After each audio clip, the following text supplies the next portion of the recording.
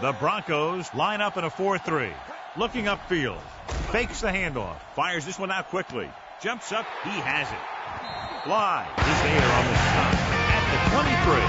Man throws quickly, and they convert for a first down. You need a couple of things to make that kind of play successful. You got to know when to call it. You have to have a quarterback with a quick release who can throw the ball accurately. Direction.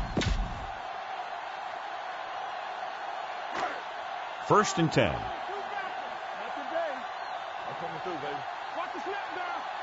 Denver lines up in a 4-3. They give it to the halfback. Bailey is there for the tackle at the 16-yard line. The defense has to make some adjustments. They aren't even slowing them down. I think about using a little. Second and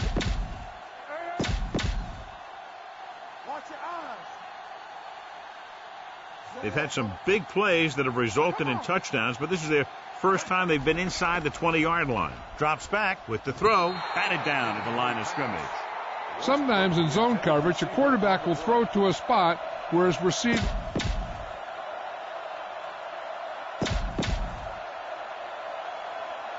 As they get ready.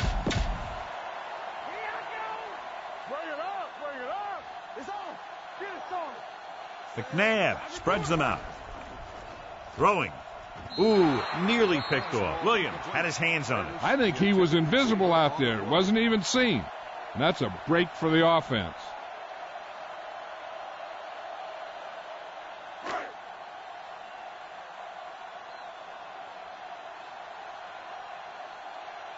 So this field goal attempt will be from about 33 yards away.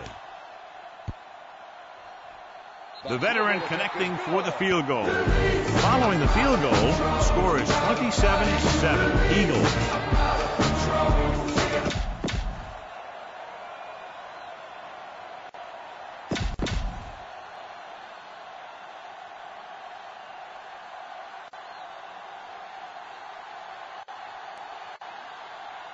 Akers looks like he's just about ready to kick this one off. He got all of that one. From the three.